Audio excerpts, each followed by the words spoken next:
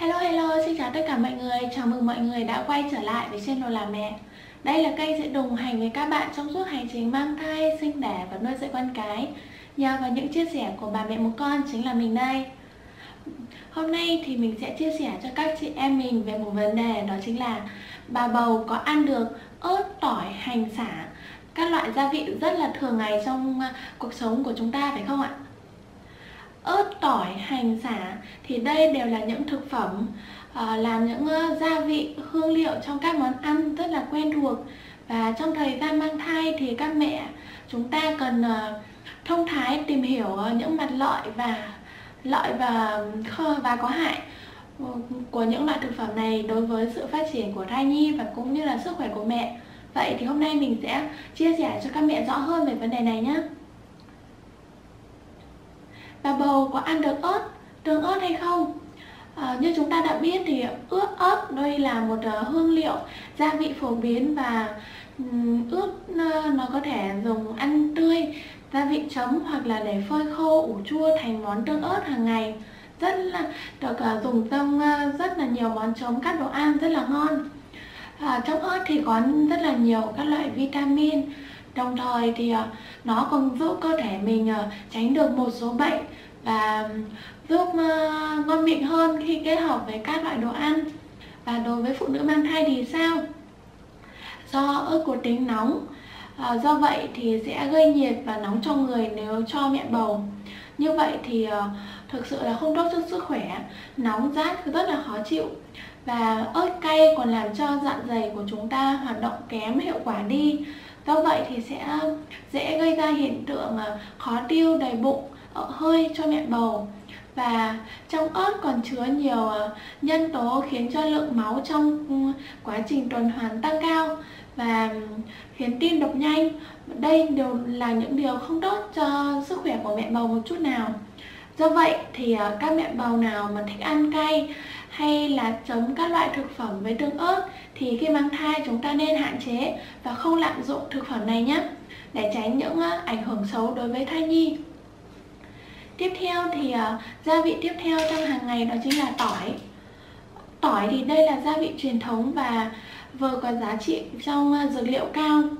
Tỏi đặc biệt giúp tăng cường hệ thống miễn dịch của mọi người và chống lại những cơn cảm lạnh ho thông thường và ngăn ngừa được một số bệnh về ung thư. Với phụ nữ mang thai thì sao? Do tỏi chứa một à, hàm lượng, những chất thiết yếu như vitamin, kẽm, sắt. Như vậy thì à, hỗ trợ rất tốt trong việc à, ngăn ngừa việc vấn đề cao huyết áp, giảm thiểu các bệnh về tim mạch, đột quỵ. Với phụ nữ mang thai thì chúng ta nên bổ sung tỏi vào chế độ ăn hàng ngày làm giảm uh, nguy cơ bị huyết áp cao. Và bên cạnh đó còn giúp mẹ tăng sức đề kháng bởi tỏi là khắc tinh của chứng cảm cúm.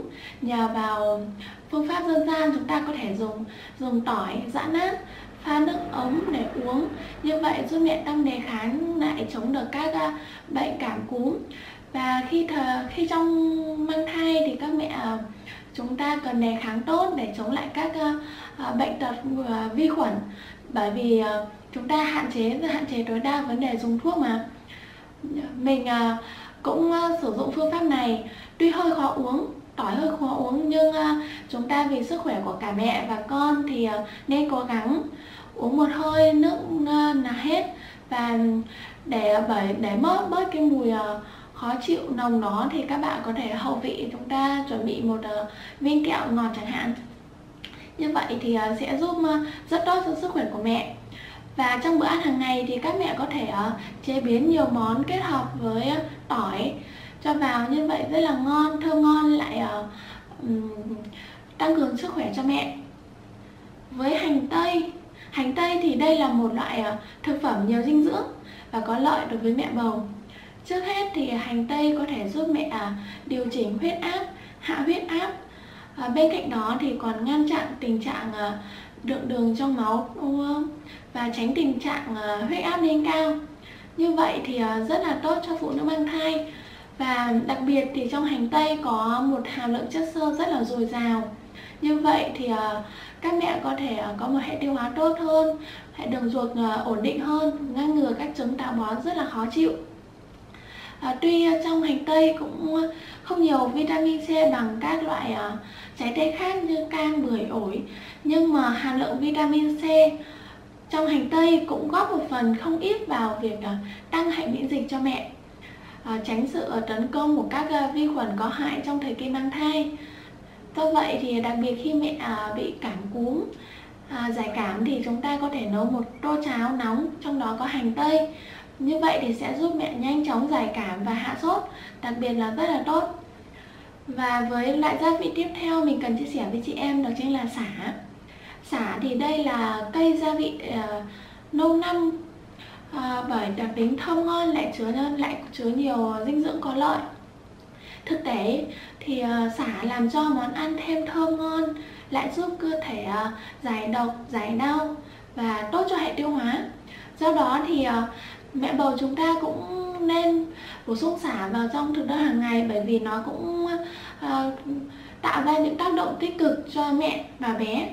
Tuy nhiên thì chúng ta không nên lạm dụng uh, quá nhiều uh, xả trong bữa ăn hàng ngày bởi vì uh, có thể gây kích thích uh, chảy máu dẫn đến nguy hại cho thai nhi nếu mẹ ăn quá nhiều.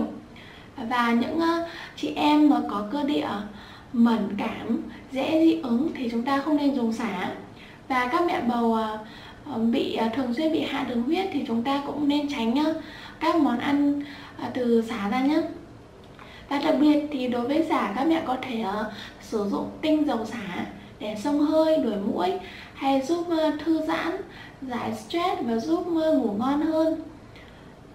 Vậy vậy là mình đã chia sẻ xong cho các chị em về vấn đề bà bầu có ăn được ớt, tỏi, hành xả hay không.